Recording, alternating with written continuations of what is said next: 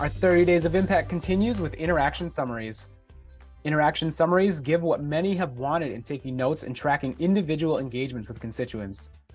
With interaction summaries, you can capture meeting notes, relate them to an additional record, but also set the confidentiality type for enhanced security. Once the record is created, you can assign additional tasks associated to the interaction, as well as see them in a comprehensive chronological view. This offers the type of note tracking desired as part of the core functionality in education and nonprofit cloud.